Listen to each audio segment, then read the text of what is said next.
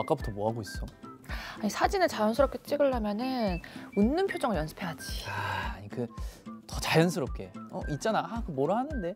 똑 떨어지는 우리말이 떠오르지 않는다고요? 그럼 우리말 반장을 불러주세요. 지금 이 순간 마법처럼 꼭 맞는 순 우리말을 바로 알려드립니다. 눈과 입을 귀엽게 움직이며 소리 없이 부드럽게 웃는 모양을 뜻하는 상그레인데요. 소녀는 그저 상그레 미소만 지을 뿐이었다. 이렇게 표현할 수 있죠. 만약 상그레보다 센 느낌을 주고 싶다면 쌍그레라는 단어를 쓸 수 있습니다. 자, 이 눈과 입을 부드럽게 이렇게 이렇게 이렇게 해가지고 귀엽게 쌍그레. 쌍그레. 오케이. 이렇게, 쌍그레. 이렇게 쌍그레. 어, 쌍그레 이렇게 하면 돼. 어때요? 상그레라는 우리 고유의 말을 쓰니까 마음까지 상그레 웃게 되는데요.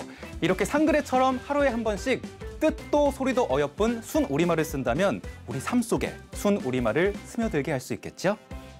우리말